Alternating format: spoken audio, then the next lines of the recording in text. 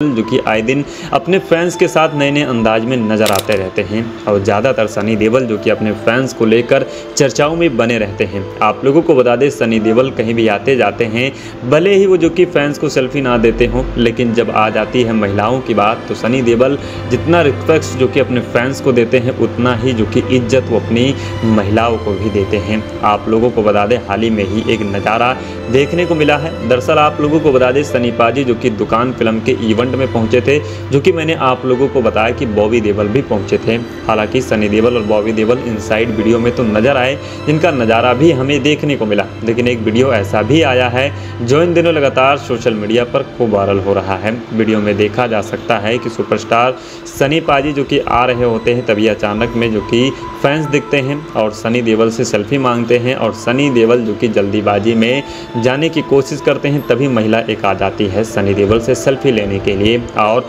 जो कि दुकान फ़िल्म के डायरेक्टर से बातचीत भी करते हैं। आप देख सकते हैं जो कि महिला को सेल्फी भी सनी देवल देते हैं। आप लोगों को बता दें, मैंने कहा कि अगर महिलाओं की बात आ जाती है तो सनी देवल उसे टालते नहीं हैं, बल्कि उनकी बात ज़रूर मान लेते हैं। आप देख सकते हैं सनी पाजी ने किस तरीके से सेल्फी दिया और उन्हें एक ऐसी इज़्ज़त भी दी। आप देख सकते हैं वीडियो तस्वीर जो सोशल मीडिया पर खूब तेज़ी से वायरल हो रहा है लोगों के बीच में काफ़ी ज़्यादा पसंद किया जा रहा है।